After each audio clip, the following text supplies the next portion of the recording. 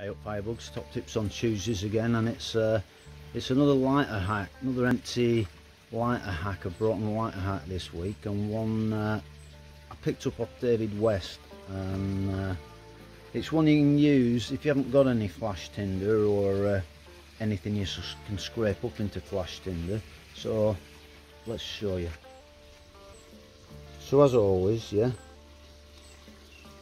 remove the uh, the windshield by bending it out and uh, lifting it off yeah?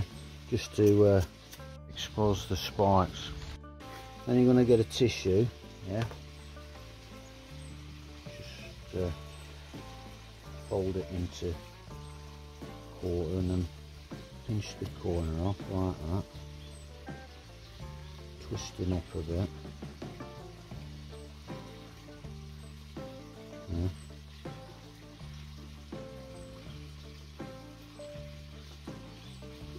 So you've got a little tail to hold it. So then what you're going to do is going to get that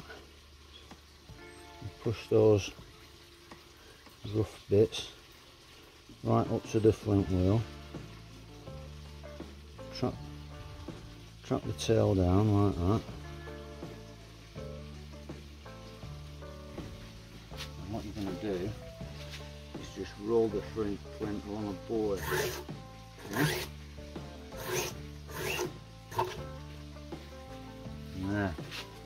you get a flame. See that? You transfer that